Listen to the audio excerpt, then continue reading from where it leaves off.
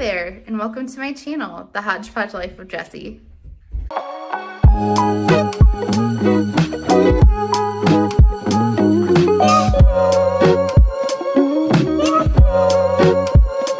Hi guys, welcome back to my channel, or if you're new here, hi, I am Jessi. I am Jessi from The Hodgepodge Life of Jessi. Thank you so much for watching. Tonight I'm going to be making my homemade Mongolian beef recipe, um, so let's get started. So for this recipe, you're going to want to get a thin cut steak. Uh, Walmart has this extra thin shaved ribeye steak meat that I love to use for this recipe.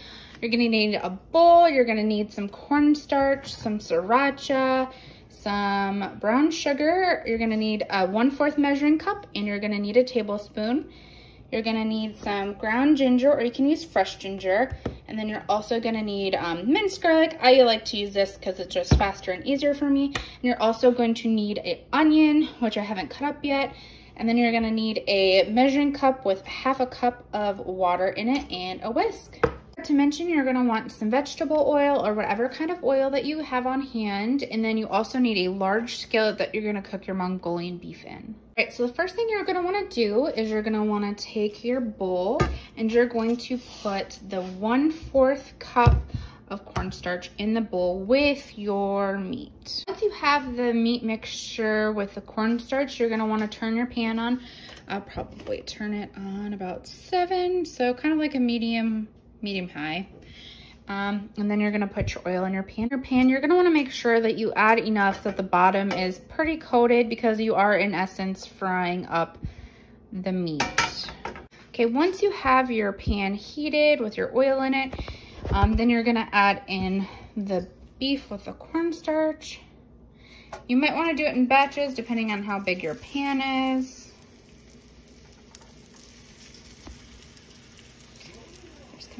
Drop it in there.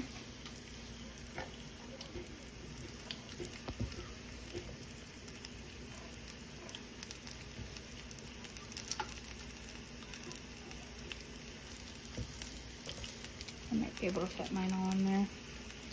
Might be a little overcrowded, but we'll make it work.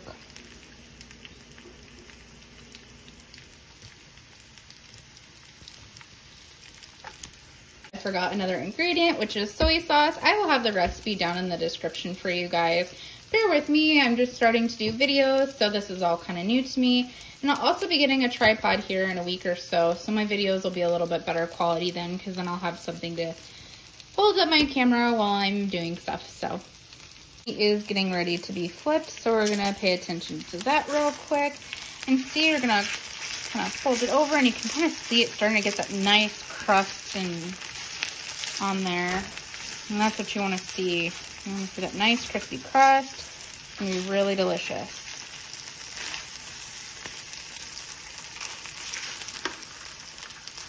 Be careful if you're using mm, like a metal tongs in a pan like this because you don't want to scratch the Teflon coating. that won't be good for your pan at all. So I need to get um, a silicone one, but I just haven't had the chance to do that yet. So We'll just be really careful and gentle. Make sure we're not doing that. Situated, we're gonna go on to the sauce. So like I said, in here I have a half a cup of water, and then you're gonna add a half a cup of soy sauce to that.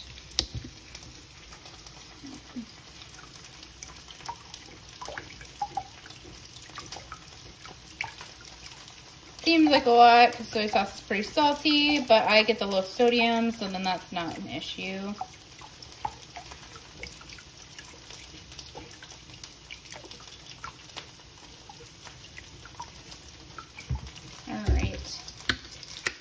And then you're gonna want to add in a tablespoon of cornstarch.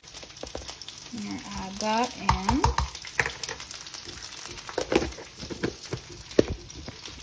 You don't want it to burn. So you're gonna go back and keep flipping the pieces around. Make sure we get them cooked all the way through.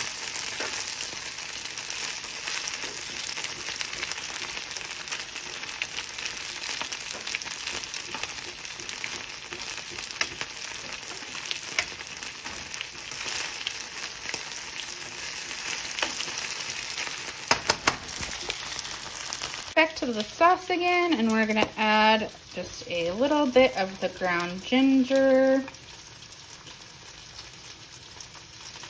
Just a little bit, like probably like half a teaspoon. And then we're gonna add the sriracha. For measuring sake, I usually just squirt some in, but for the video, I want out a tablespoon. You can do what you like. If you don't like spicy stuff, don't add it. It's not a big deal. Um, add that in. And then you're gonna wanna add in some garlic. I would say if you're dicing it yourself and mincing it, I would do like maybe one clove. I'm probably putting in like one and a half cloves worth or just like two decent sized squeezes. And you're gonna take that and you're gonna whisk it up. If you don't have sriracha, you can also use like red pepper flake. I've used that before and it turned out really good. Or even the, um, it's the garlic sriracha like paste stuff. That's really good in there too. And make sure that we're getting all of it and all of it cooked. Look at that crust on that. That is gonna be so good. Be careful when you're doing this because the oil, you're working with oil and obviously it'll splatter and you don't want to get burnt. You can see all the beef is nice and crisped up. The pink is all gone. So then we're going to take it and we're going to put it into a bowl. And you're going to leave your oil in your pan because next we are going to be uh, sauteing up our onions. If you don't like onions, you don't have to put it in the recipe. We just like them, and I feel like it adds extra goodness to the recipe, so that's why we do it.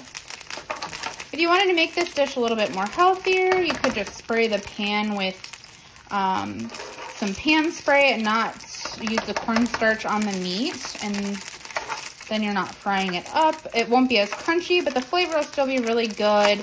Um, we're going to be doing rice as a side, so if you wanted to do something a little bit healthier, you could always do like cauliflower rice.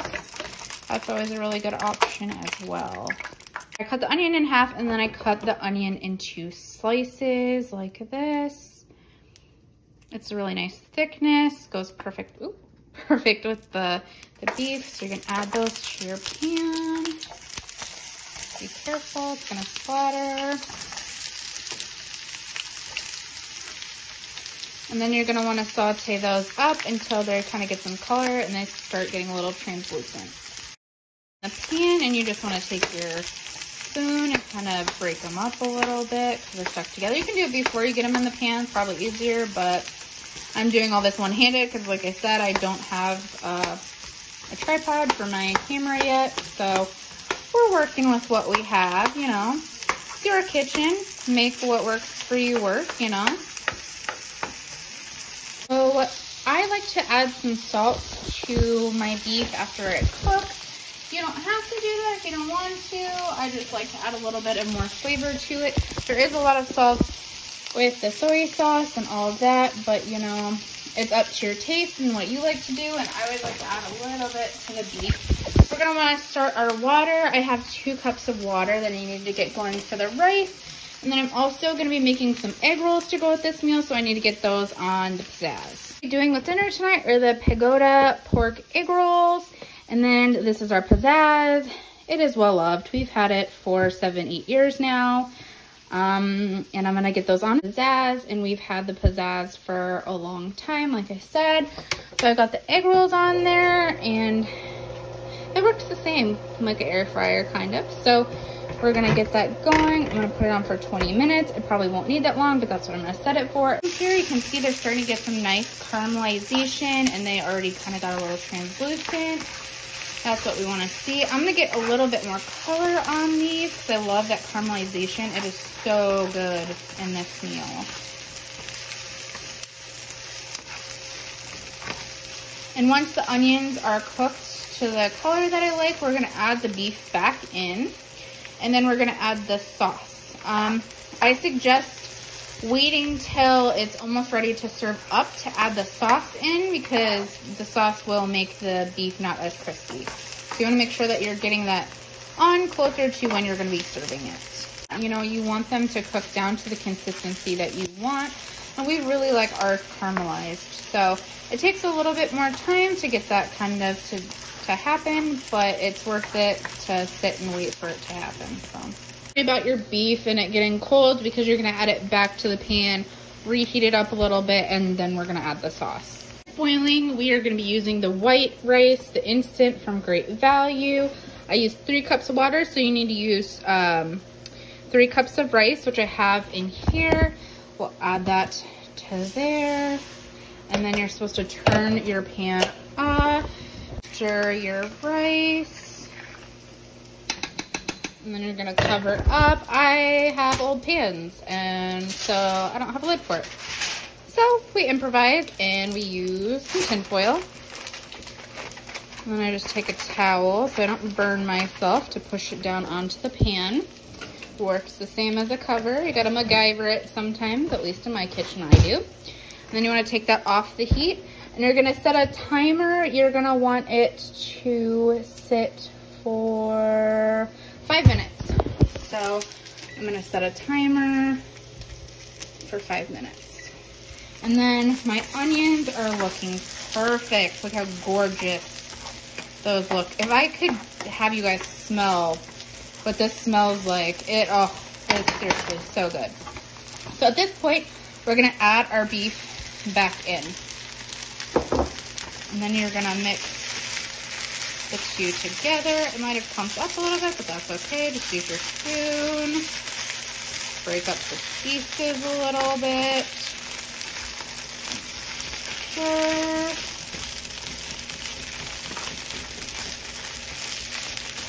Oh my goodness, guys. Does this not already look so delicious? Oh my. And then we're going to add our sauce. Have it all whisked up. You might want to re-whisk it if it's been sitting for a while. And you're going to pour it into the pan. And then you're gonna want this to come up to a boil because remember we have the cornstarch in there and you want that cornstarch to heat up so it'll thicken up. Once you get it to a boil, let it boil for a minute, and then you're gonna turn it down to low. And when it starts to kind of come down from that high heat, it'll really thicken up. So we're gonna let it kind of start to go. Oh my guys, look at this. It already looks glorious. I wish you guys could smell it. it smells delicious. It's gonna be a great dinner. It came to a boil. We're gonna turn it on low to thicken, and that's what you wanna see. I turn my heat down to low. We're gonna let it sit here for a few minutes and I'll thicken up even more and I'll be right back. This, the sauce has thickened. It is perfect right where we want it. So we're gonna turn the heat off and then we're gonna uh, plate our dish. All right, guys, the rice is finally done. So we can take the lid off. Look how fluffy that got. It's perfect. And I just mix it up. All right, we're gonna put some on our plate.